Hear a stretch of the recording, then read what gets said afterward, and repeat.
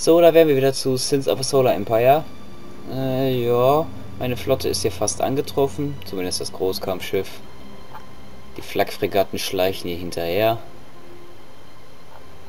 Wenn meine Flotte hier erstmal angekommen ist. Ich kann nur immer wieder sagen, es ist was Langfristiges und dauert auch genauso lange. Ah, hier, das Schiff ist angekommen. Flotte bilden. Mhm. Ich lasse erstmal noch hier, weil es könnte nämlich sein, dass auch von hier Gegner ankommen. Also von zwei Planeten, hier von den beiden. Das ist ja von mir hier schon gesichert. Sichere ich jetzt nachher nochmal hier diesen Asteroiden. Wo soll ich hin? Ah, was brauchen die denn so lange? So, jetzt sind sie endlich da. Schicke ich sie erstmal hier hin, dass sie geordnet sind. Wir sind unterwegs. Guter Plan. Genau bis zum Rand. Ja, das hier ist die Blase, in der wir bauen können, sage ich jetzt mal. Und das unterwegs. hier ist die maximale Reichweite für die Raumschiffe. Wie weit sie sich also ähm, vom Planeten entfernen können, sage ich jetzt mal. Okay, ich kann die orbitale Veredelung bauen. So. Das ist jetzt diese Raffinerie. Die produziert auch noch Raffinerieschiffe, das heißt, wir werden hier zwischen nachher noch mehr Verkehr haben. Hier fehlt mir Logistikkapazität, genau wie hier. Aber die Raffinerieschiffe fliegen immer nur von den äh, Kristall, von den Extraktoren, sage ich jetzt mal, zur Raffinerie hin. Und hier steht auch Raffineriequote 1 von 3. Ich habe jetzt eine Raffinerie und ein äh, Extraktor kann bis zu drei Raffinerien versorgen. Also wenn ich hier jetzt noch zwei weitere hinsetzen würde, dann wäre die Raffineriequote dann 3 von 3. Wo soll ich hin? Doch, sind sie fast da. Weil wenn ich die nämlich erstmal hier sammle und dann äh, zum Sprung starte, dann springen sie einigermaßen gleichzeitig und nicht mit so großen Abständen, dass man erstmal fünf Minuten warten muss, bevor die ganze Flotte überhaupt eingetroffen ist, wenn ihr versteht, was ich meine. So, mal Jäger reinholen. So, jetzt sind sie da. Einmal hier hin, bitte. Voraus. Phasensprung klar. Ihr seht, starten sie jetzt äh, einigermaßen gleichzeitig hier, die hier ganz besonders.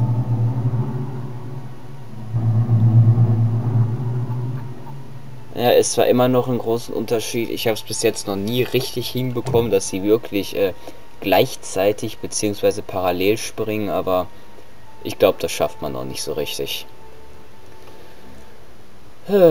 Meine Kultur verbreitet sich immer noch, ist noch nicht mal bis zu meinem eigenen Planeten angekommen. Bauwerk komplett. okay, die Raffinerie ist hier jetzt fertig. Das ist jetzt hier die Raffinerie. Schön mit Smogwolken. Und hier ist jetzt so ein Raffinerieschiff. Das fliegt jetzt zu den einzelnen Asteroiden. Momentan ist der da vorne dran. Wie man hier an der Flugrichtung auch schon sieht. Und ja, hier ist das nächste Raffinerieschiff. Es fliegt dann jetzt zu einem der anderen Asteroiden und so weiter und so weiter. Tja.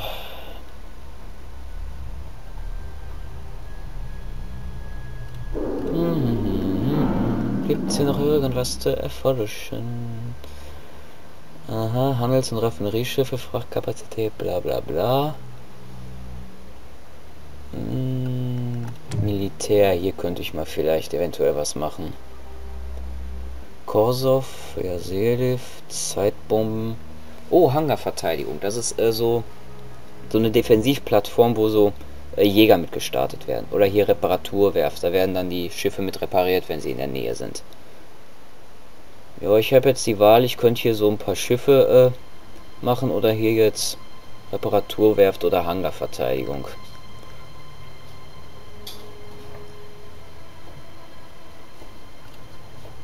Nicht mal die Hangarverteidigung.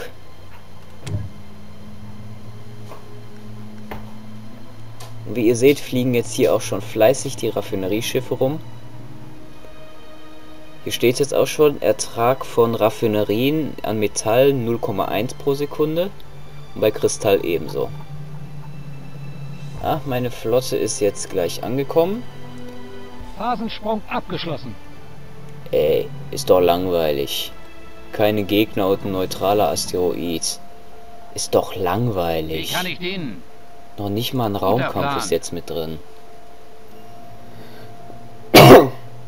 Also ich glaube, damit man hier richtig gefordert ist, müsste man das äh, schon auf Mittel oder auf Schwer spielen. Weil sonst dauert das ultra lange und man ist irgendwie so gar nicht gefordert. Bereit. Ach ja, dann erobern wir mal hier diesen toter Asteroid.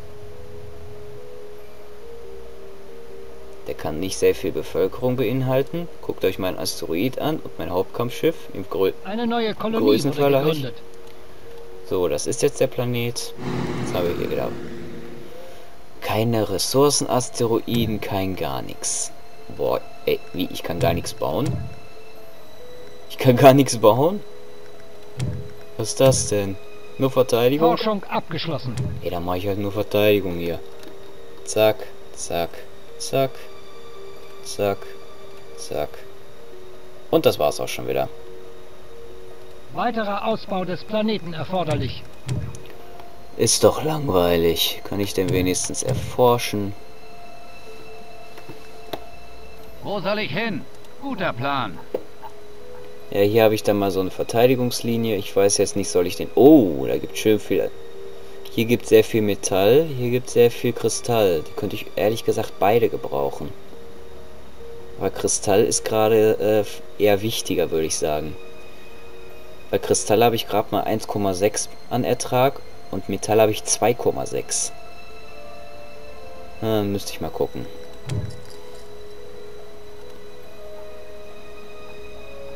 Ja, so ein neues Großkampfschiff wäre nicht schlecht. Hier so Dunov-Schlachtkreuzer. Die gefallen mir ehrlich gesagt vom Aussehen, vom Design her am besten. Könnte hier aber auch so Sova-Träger, so ein Flugzeugträger im All quasi bauen. Aber da fehlt mir noch ein bisschen Geld für.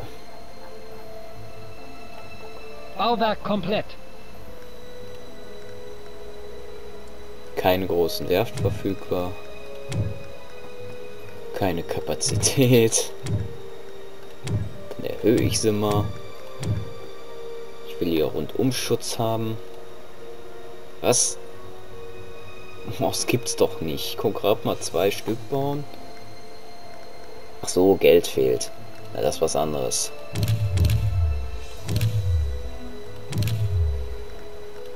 So. Zack, zack. Och, jetzt fehlt mir Metall. Das ist am Anfang hier immer das Schreckliche, dass man so wenig nur zur Verfügung hat. So, jetzt habe ich einmal eine Rundumverteidigung.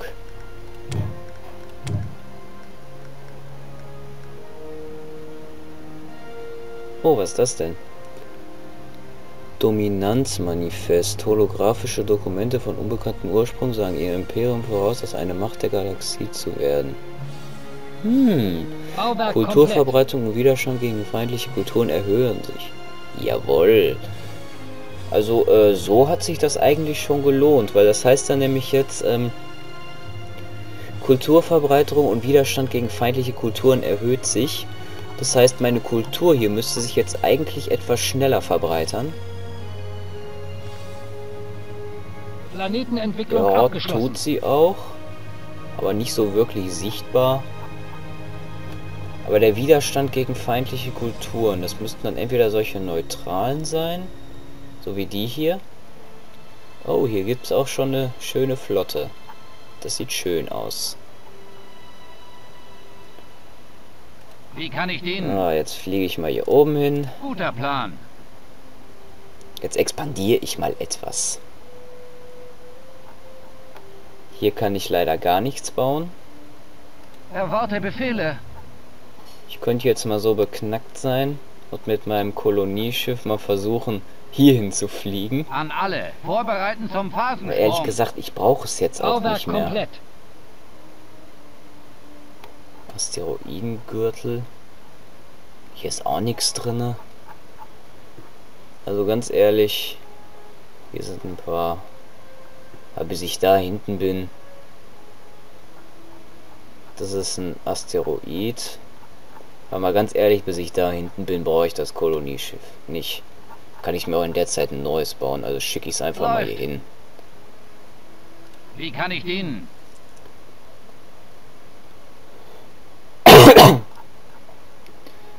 Äh, tut mir leid, dass in diesen Parts jetzt hier sehr wenig passiert, aber ich kann es nur immer wieder sagen. Oh, wie kommt denn der Sucher hier rein? Kampfbereit, Na, da passt doch meine Flotte sowas von gut auf. Äh, die hier ist aber gleich da. Im Moment, Eisplaneten kann ich doch kolonisieren, oder? Ja, kann ich. Das hier wäre mal nützlich, dann kann ich nämlich auch Vulkanplaneten kolonisieren.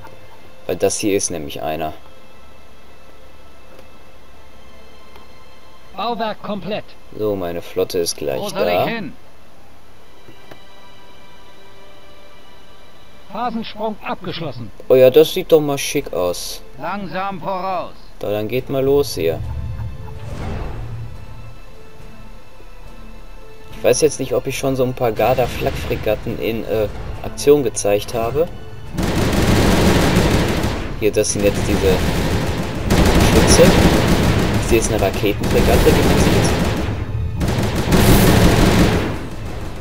Oh, die haben auch. Kampfstationen besetzen. Ja, das mache ich auch mal. Dafür fehlt mir leider das Geld. Schützen.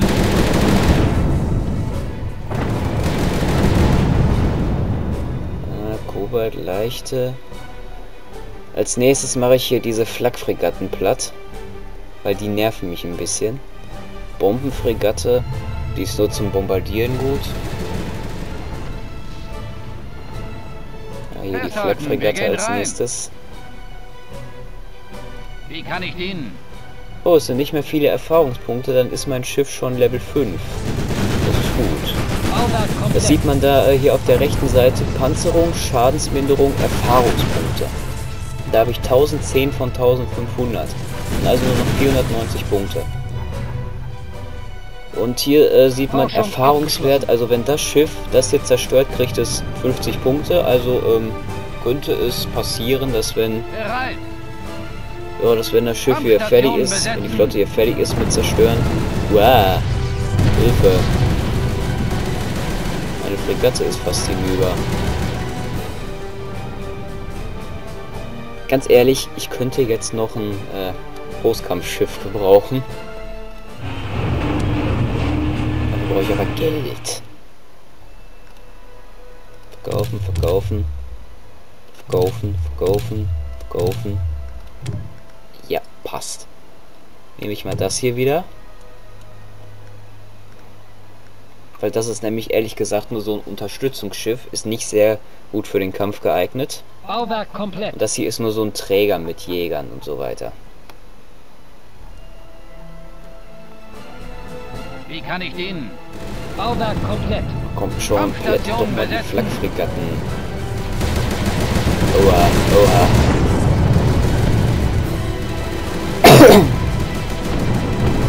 Ich sollte mal so einen Kreuzer erforschen.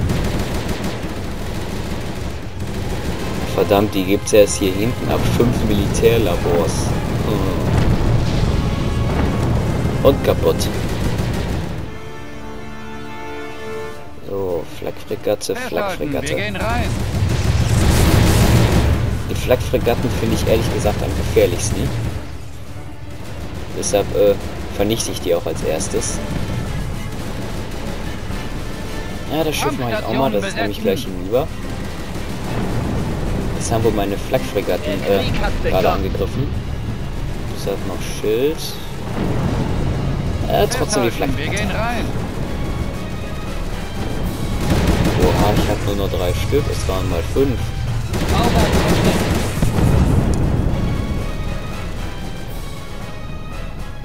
Oh, meine Zeit ist jetzt auch äh, genau jetzt leider schon wieder rum. Aber äh, Ich werde dann jetzt einfach mal wieder weitermachen und werde dann da äh, zwei Parts draus machen. Aber nicht mehr A und B. Ich mache dann einfach äh, 5 und... Ne, 6 und 7 war das dann. 6 und 7. Okay.